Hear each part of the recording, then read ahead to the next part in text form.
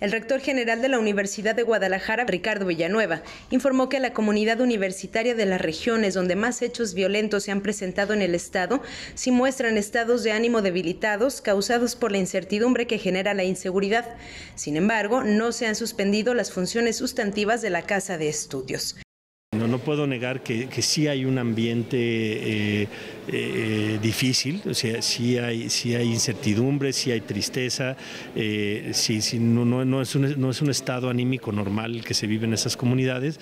pero en la universidad hemos tratado de, de, de, que sigan todas las funciones sustantivas, creemos que, que, que debemos de continuar, que debemos de, seguir teniendo servicios educativos en esa zona y y bueno, pues si ya nos han robado algunos de nuestros jóvenes, no, nos no podemos eh, dejar que, que, que, nos roben la educación de todos los demás. Entonces estamos haciendo un gran esfuerzo por estar bien, pero no, debo reconocer que no, en esas comunidades no están bien.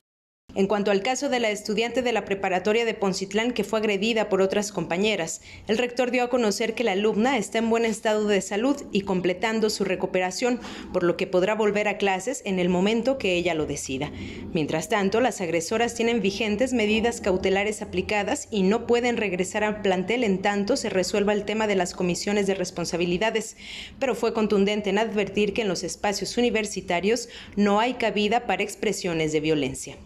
Con imágenes de César Cortés, UDGTV Canal 44, Celia Olivia Niño.